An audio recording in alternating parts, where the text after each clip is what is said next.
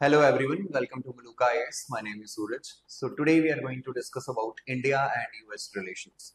So recently Quad Summit 2024 जो पहले भारत में होने वाला था लेकिन अभी वो अमेरिका में होने जा रहा है तो आइए जानेंगे इसके पीछे की क्या कारण है और आगे फ्यूचर में क्वाड को लेकर के क्या संभावनाएँ हैं तो चलिए शुरू करते हैं आज का वीडियो तो फ़र्स्ट मलुका आई आपके लिए लाए हैं test series for 2025 with mentorship program जिसमें टोटल 64 टेस्ट हैं 34 प्रिलिम्स और 30 मेंस के हैं।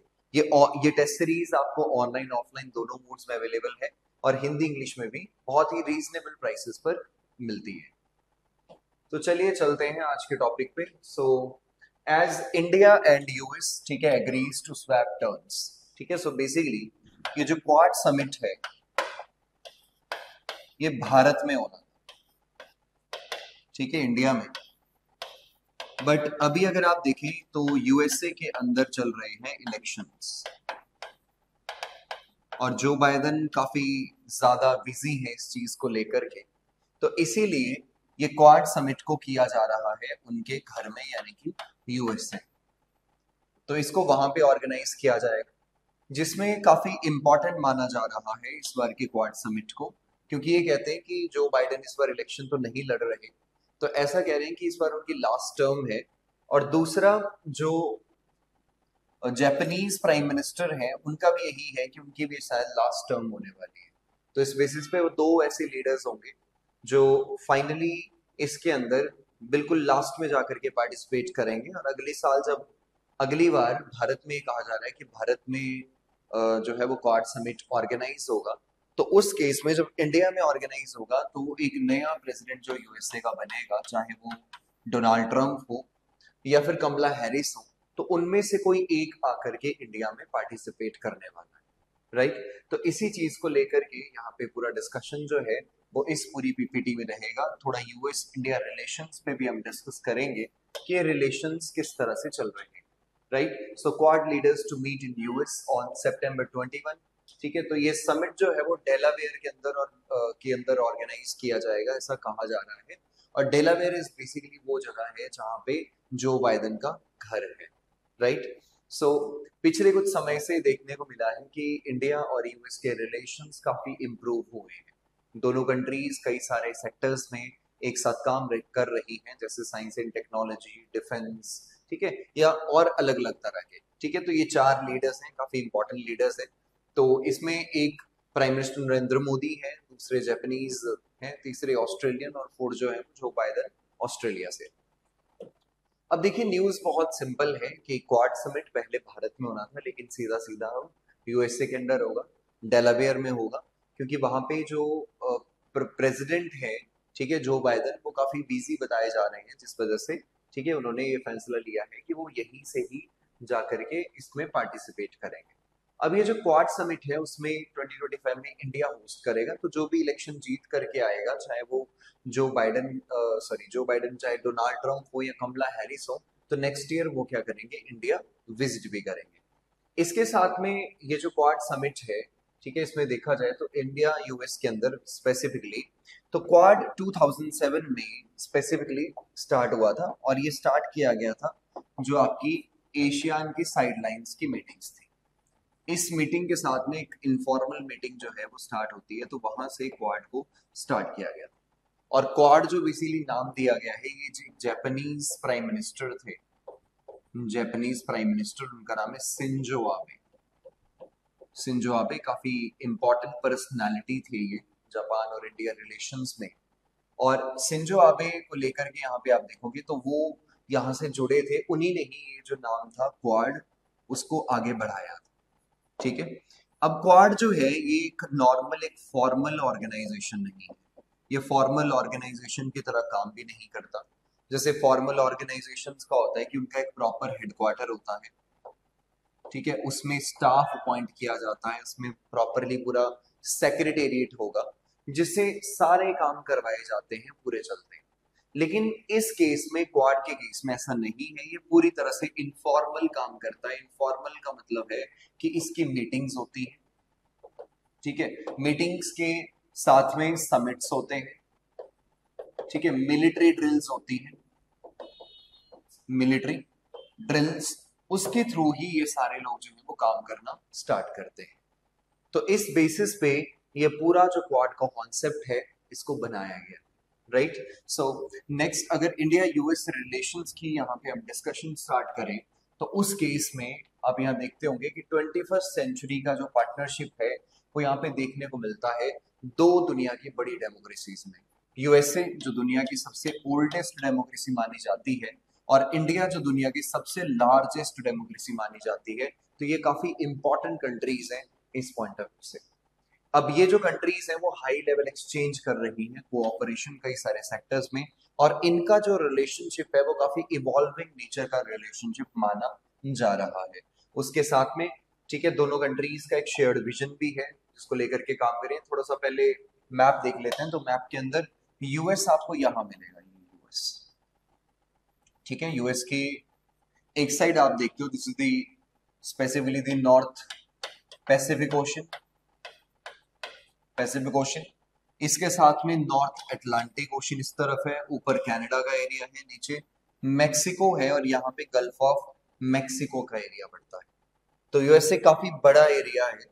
तो देखा जाए तो यहाँ पे पहले थर्टीन कॉलोनीज हुआ करती थी, जो मेनली यूएसए था। ठीक है, बाद में जाकर के इन्होंने क्या किया? लैंड का एक्सपेंशन किया। एक्सपेंशन करते करते ही धीरे धीरे जाकर के इन्होंने पूरे लैंड को कैप्चर कर लिया। इसके साथ में ये अलास्का वाला पार्ट है। और ये इन्होंने रशिया से खरीदा हुआ है, पैसे दिए थे, उसको खरीद लिया वहाँ से।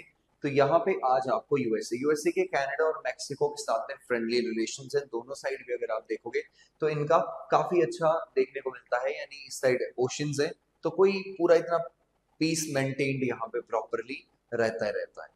ठीक है?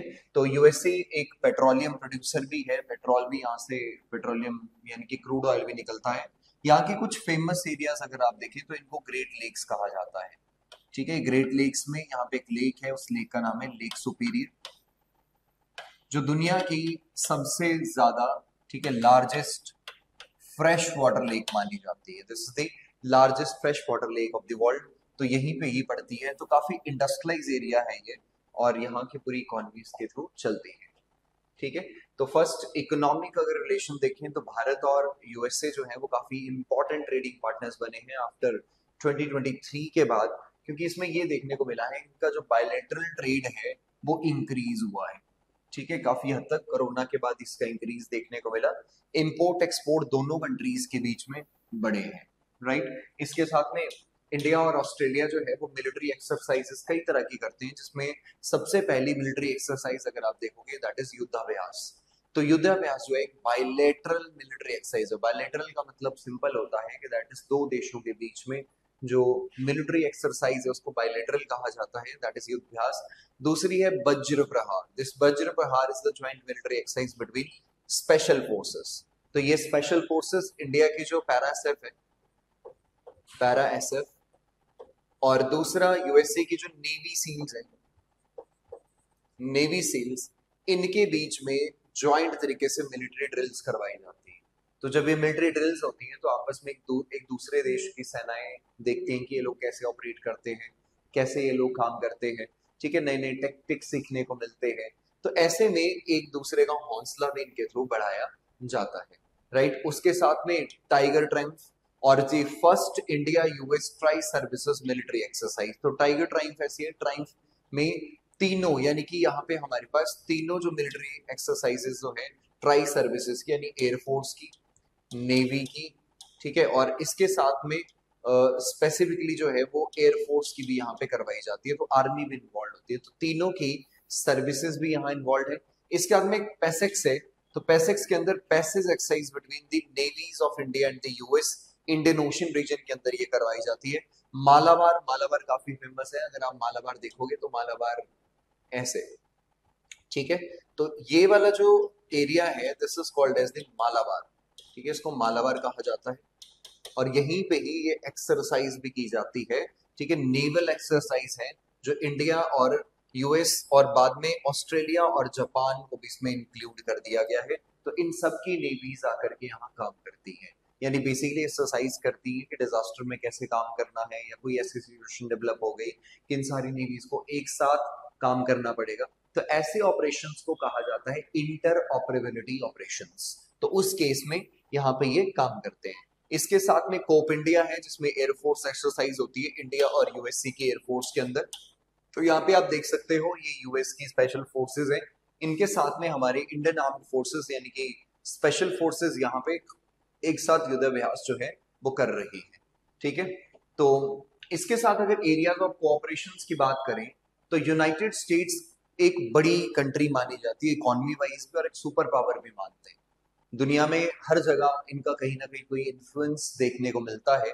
तो उस केस में एक मल्टीलेटरल ऑर्गेनाइजेशन के अगर केस में देखें तो यूनाइटेड नेशन में इंपॉर्टेंट पार्ट है यूएसए एक परमानेंट सिक्योरिटी काउंसिल का मेंबर भी है।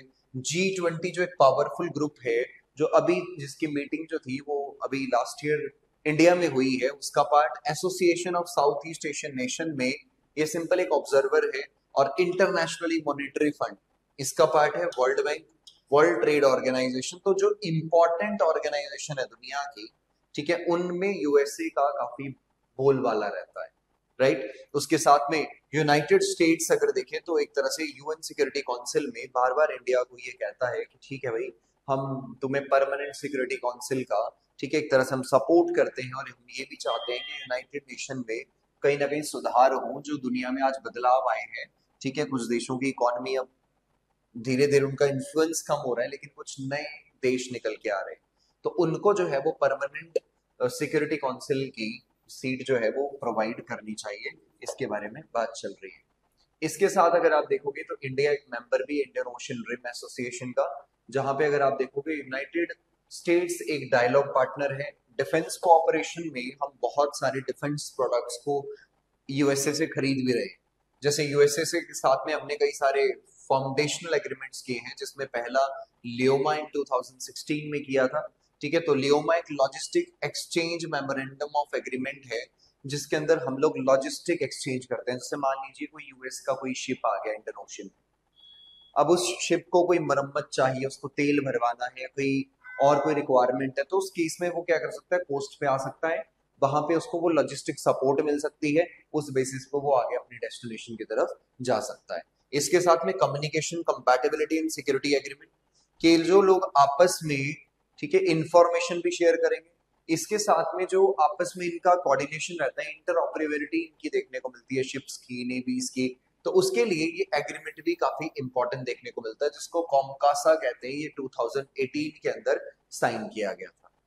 उसके बाद नेक्स्ट अगर आप देखोगे तो एक और ग्रुप है, जो कि मिडल ईस्ट में आई टू यू टू कहा जाता है, जिसमें इंडिया इसराइल यूएई और यूएस इन्वॉल्व है। इसको ये भी कहते हैं कि new Quad this is called as the new Quad इसके साथ अगर जो क्वाड बनाया गया है, ठीक है, इसको स्पेसिफिकली जो रशियन फॉरेन मिनिस्टर थे, इन्होंने इसको एशियन नाटो कहा।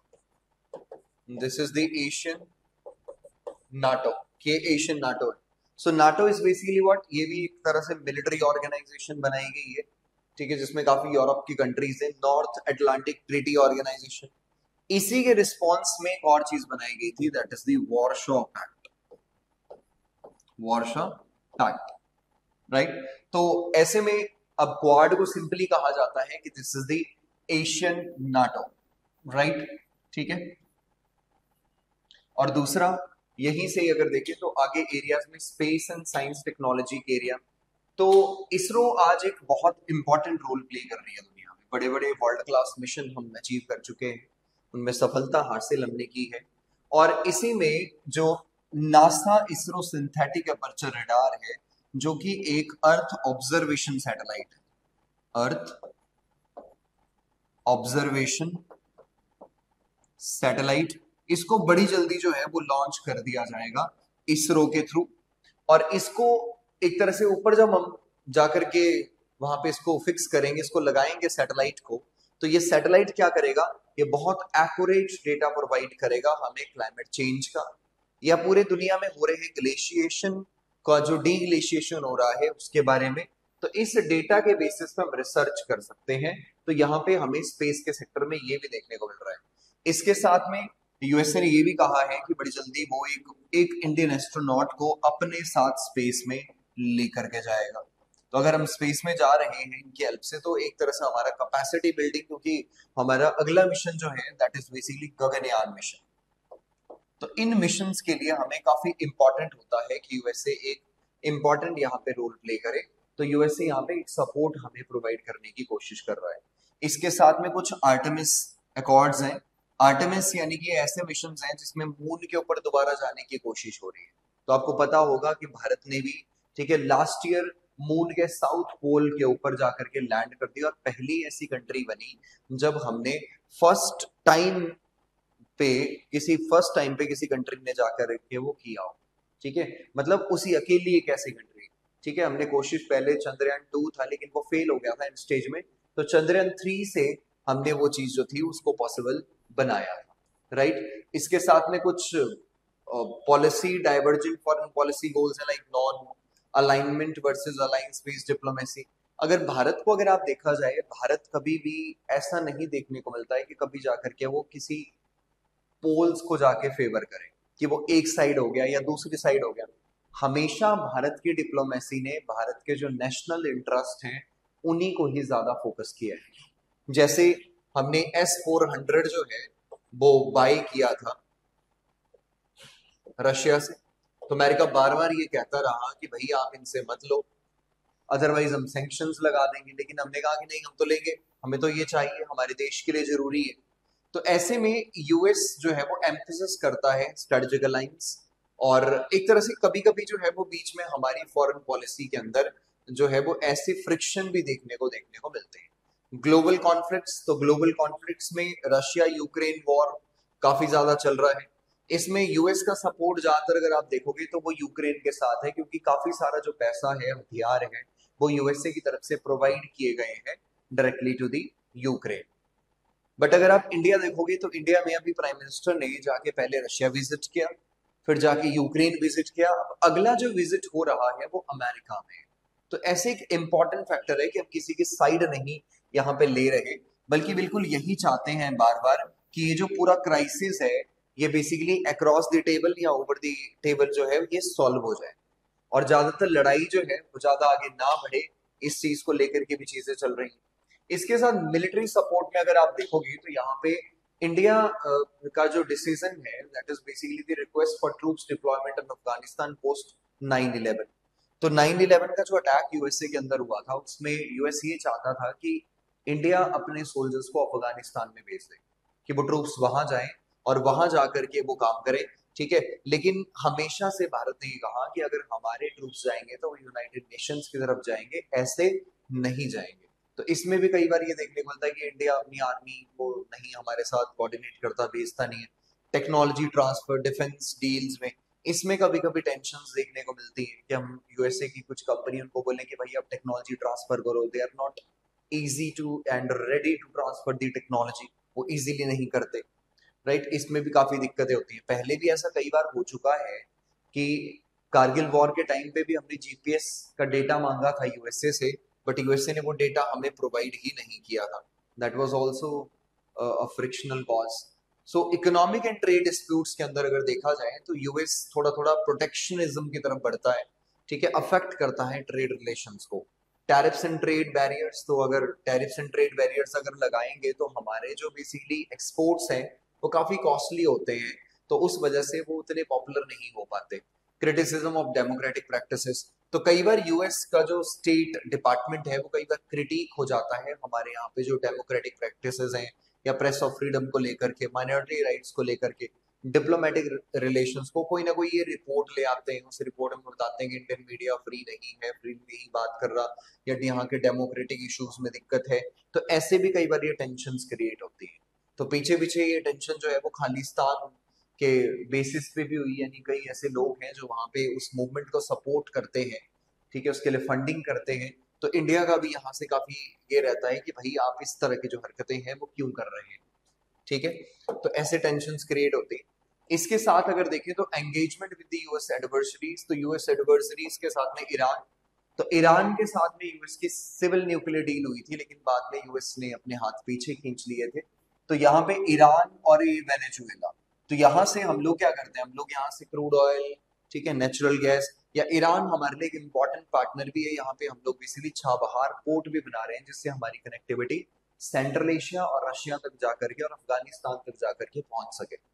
तो उसमें भी कई बार ये होता है कि जो रिलेशन है वो ऐसे देखने को मिलते हैं लाइक संघाई कॉरपोरेशन ऑर्गेनाइजेशन तो इसके अंदर भी हम पार्टिसिपेट कर रहे हैं। तो ऐसा फ्रिक्शन बीच बीच में यूएसए का ही मानना है कि भाई, काम कर रहे हो तो हमारे साथ ही करो।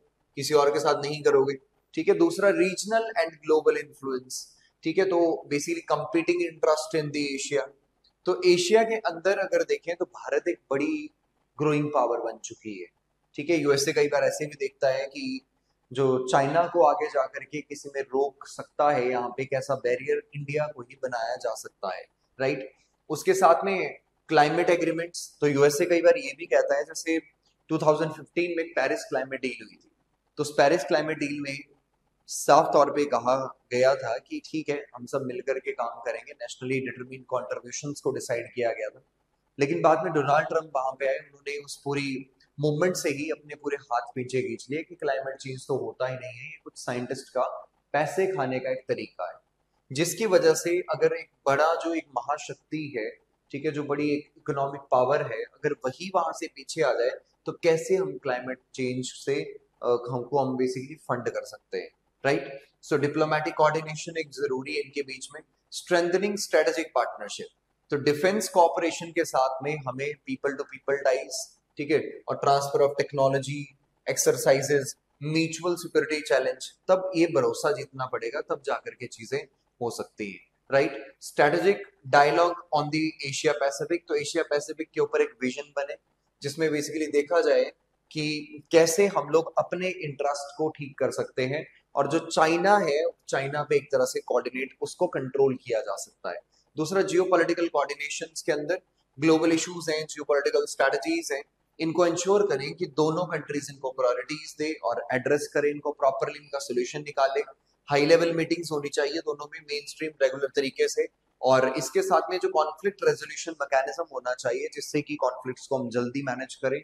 जल्दी उनको रोक सके, जिससे हमारे जो कॉन्फ्लिक्ट्स हैं, वो कम से कम हो सके और रिलेशन आगे बढ़ सकें राइट सो क्लाइमेट चेंज पे दोनों इकट्ठे काम कर सकते हैं पब्लिक सेक्टर में भी, और प्रमोट किया जा सकता है पीपल टू पीपल टाइज को like culture education academic exchanges से। तो आज का ये आपको क्वेश्चन है जो आपको अटेम्प्ट करना है, और इसके साथ में मलुका ये आपके लिए लाया है prelims 2025 based current affair magazine जिसमें डायग्राम्स और फ्लो चार्ट्स हैं। ओनली आपको ये ट्वेंटी नाइन रुपीज़ में हिंदी इंग्लिश में अवेलेबल है तो आप इसको पढ़ सकते हो। आपकी तैयारी को शार्प करेगा, ठीक है? अच्छा बनाएगा। तो आज के लिए इतना ही। धन्यवाद।